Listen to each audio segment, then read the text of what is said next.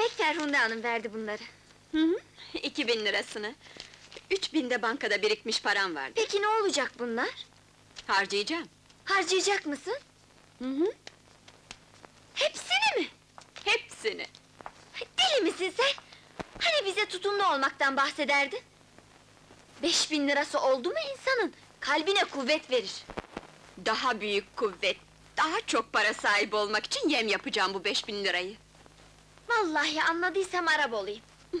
Uzun hikaye, geç kalıyoruz Ayşe, atölyede anlatırım. Kısacası lüks otellerden birinde milyonermişim gibi yaşayacağım param bitene kadar. Beş on günlük zevk için çok para, çılgınlık. Ya da aşırı akıllılık. O beş bin lira yem olacak. Zengin koca avlama yemi. Sen zengin koca için aklını bozacaksın. Hayır. Zengin koca bulup kırılan gururumu tamir edeceğim. İyi ki hatırlattınız. Otele prenses diye giderim. Hadi bakalım Ayşe Hanım, göster uydurmacılığını da bana herkesin yutacağı şatafatlı bir prenses hikayesi uydur. Abdülfettah Paşa'nın kızı. Yok yok, ee, kerimesi Safinaz Sultansın. Ah, Paris'te yaşıyorsun. Vatanımı özledim, Uludağ'da kısa bir tatil geçirmeye geldim. Ama Prenses Safinaz olarak değil. Ya ne olarak? İsmin gizli kalacak. Anlamadım. İnsanlara bir şey yaymak istemenin tek yolu onu saklamaktır. Bir konu ne kadar sır olarak saklanırsa o derece çabuk yayılır. Yaşa! Sen bir dehaymışsın be kız! Yarın hemen atölyeden telefon açarız otele. Yaşa Zeynep! Oo, pardon, Safinaz Sultan. Ne? Prenses Safina Sultan mı şeref verecekler? E, bir dakika efendim. Ferdun Bey, Ferdun Bey. Bir dakika. Prenses Hazretleri. Evet. Prenses mi dediniz? Evet. Yalnız otel idaresinden bir ricamız var. Prenses Safinaz Sultan'ın prenses oldukları katiyetle gizli tutulacak.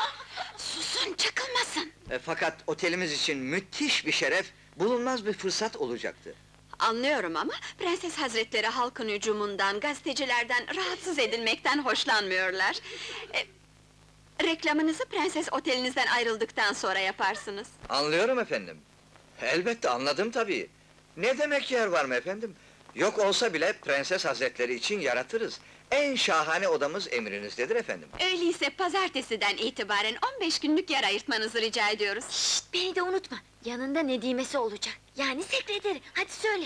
Ee, Safinaz Sultan yanlarında nedimeleriyle teşrif edecekler. Siz sekreteri diye geçirirsiniz kayıtlarınıza. Teşekkürler. Peki. Ee, yalnız unutmayın, gene tekrarlayayım, bu prenseslik aramızda büyük bir sır olarak kalacak. Büyük bir sır! Bu hususta en ufak bir şüpheniz bile olmasın efendim. Emrettiğiniz gibi bu mesele aramızda bir sır, büyük bir sır olarak kalacaktır. Güle güle efendim, güle güle.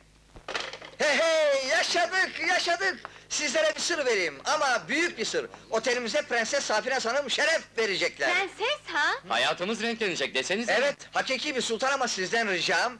...kendisine prenses olduğunu katiyen belli etmeyeceksiniz. Çünkü büyük bir sır. yani.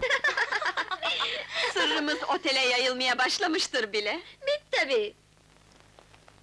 30 bavul ister. Peki 30 bavulu nasıl dolduracaksın? Çoğunu eski gazetelerle, Ferhunde Hanım'ın verdiklerini de giydim mi yeter. Yalnız bir şey var. Prensesler çok takıp takıştırırlar. Pahalı mücevherlerin olmalı. Ay, onun da bir çaresini bulmamız lazım. Spor kıyafetlerin eksik. Bir prenses nerede ne giyse hoş görülür. Romanlar öyle yazıyor. Savaş başladı artık, ya istiklal ya ölüm. Ya istiklal ya ölüm! E, hanımefendiciğim, e, nasıl buldunuz? Beğendinizse Ay, saralım çok bunları. güzel. Başka modellerimiz de var. E, tamam tamam. E, saralım. Evet evet, Peki hepsini sarın. ne düşünüyorsun Zeynep? Bu iş için mücevher de şart diye düşünüyorum. Nereden buluruz? Şey, ben bir filmde görmüştüm, kuyumcuyu dolandırıyorlardı. Ha, ben korkarım ya yakalanırsak? Aa, yakalanana kadar işi biter iade ederiz. Ama önce bir araba lazım. Ferhunde Hanım'ınkini rica ederiz.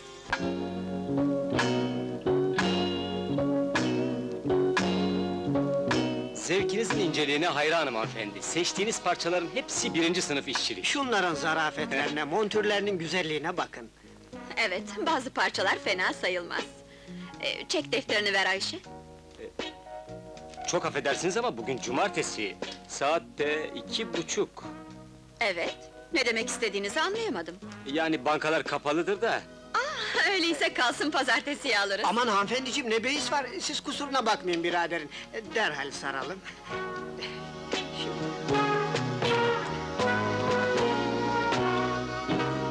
Güle güle hanımefendiciğim, güle güle. Güle güle efendim.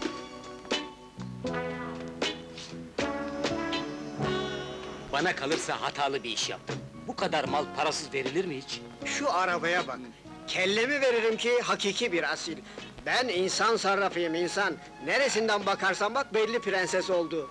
Yamanmışsın vallahi. Adamlar çakacaklar diye kalbim duruyordu. Hmm, şansımız iyi gidiyor Ayşe.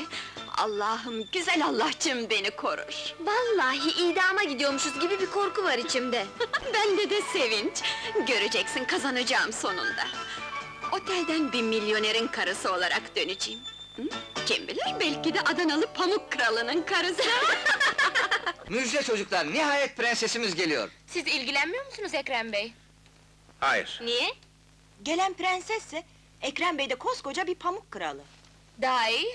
Prenseslere krallar layık olduğuna göre en çok siz ilgilenmelisiniz. Beni kadınların zenginlik ve mevkileri değil. Yalnızca güzellikleri ilgilendirir hanımefendi. Bir kadının ne şöhretine ihtiyacım var... Taşırım biraz. Etraf çok güzel. Delirmişsin sen, ben üşüyorum, donuyorum, sen ne yaparsan yap.